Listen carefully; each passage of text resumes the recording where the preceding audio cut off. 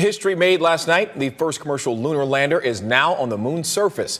The clock is ticking, though, on the American craft's life with a long list of duties and science to carry out. Our Space Coast Bureau Chief Scott Heidler spoke with space experts to plot out the coming days. For 10 minutes after lunar lander Odysseus was expected to touch down, deafening silence. Then, Uh, what an outstanding effort. I know this was a nail biter, but we are on the, on the surface and we are transmitting.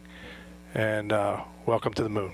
Well, the first American craft to land on the moon in more than 50 years is sending signals, exchange of data won't be easy. And so it's a very unusual soil with reflectance properties that we don't totally understand.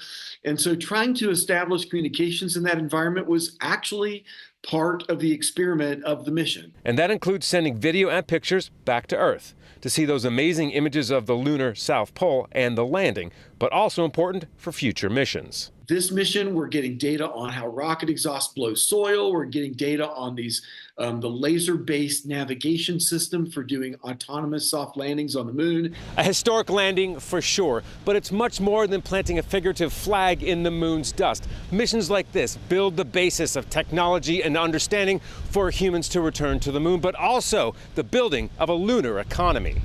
a new adventure in science, innovation, and American leadership in space.